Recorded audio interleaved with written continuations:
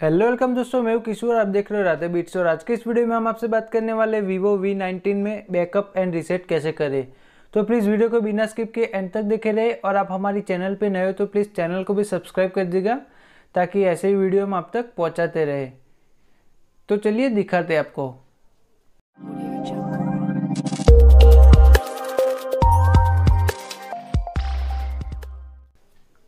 तो दोस्तों, वीडियो शुरू करने से पहले मैं आपको बता दूँ, यहाँ पे आपका डेटा है वो कहीं स्टोर कर लीजिए, क्योंकि यहाँ पे आपका मोबाइल पूरा फॉर्मेट होने वाला है मतलब सब कुछ डिलीट होने वाला है।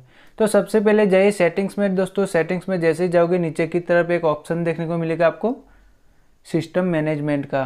तो यहाँ पे दोस्तों, आपको एक बार क्लिक करना है, जैसे यहाँ पे क्लिक करोगे तो यहाँ पे नीचे की तरफ़ एक ऑप्शन देखने को मिलेगा आपको बैकअप एंड रिसेट लिखा हुआ है। तो यहाँ पे एक बार क्लिक कीजिए, जैसे यहाँ पे क्लिक करोगे तो यहाँ पे आपको एक यहाँ से कौन सा ऑप्शन है?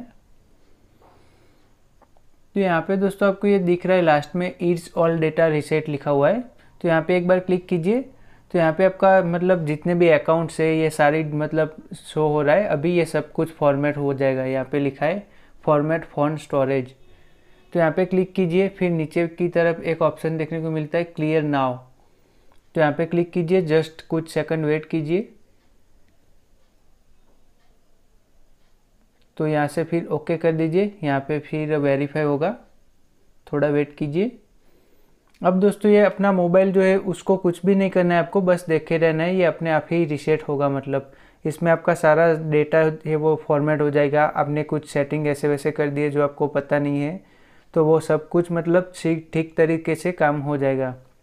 अगर आपका मोबाइल हैंग होता है या उसमें कुछ अदर ऐप्स आ गई है जो अनइंस्टॉल नहीं होती तो बैकअप एंड रिसेट करने से वो सब कुछ सही से ठीक हो जाता है। जैसे आप नया मोबाइल लाए थे और जैसे वर्क कर रहा था, बिल्कुल वैसे काम करेगा ये मोबाइल तो दोस्तों, अभी यहाँ पे ये जो सेटअप है वो आप देख लीजिए ध्यान से।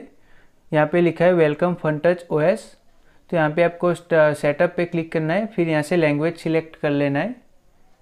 मैं इंग्लिश ही रखूँगा। ये यार, ये गलती से हो गया। इंग्लिश सिलेक्ट कर लेना है हमें, क्योंकि ये सब बहुत सारी लैंग्वेज यहाँ पे दी गई हुई है। तो यहाँ से अभी इंग्लिश हाँ तो ये दोस्तों हो गया मेरा इंग्लिश फिर यहाँ से नेक्स्ट पे क्लिक कर देना है। फिर यहाँ से आपको एग्री कर देना है। फिर यहाँ से स्किप कर देना है।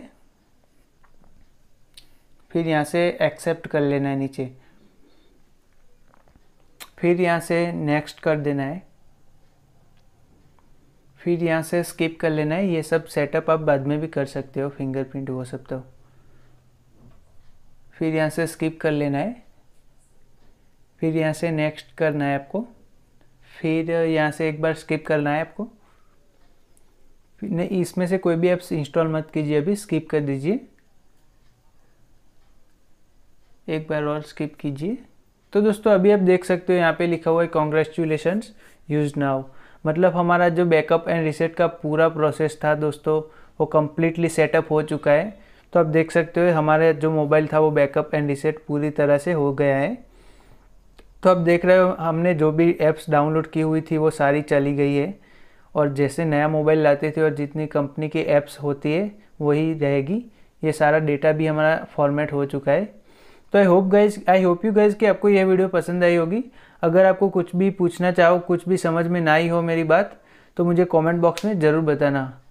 तो आज के इस वीडियो में इतना ही दोस्तों, देखने के लिए आपको बहुत बहुत धन्यवाद। Thank you so much bye bye friends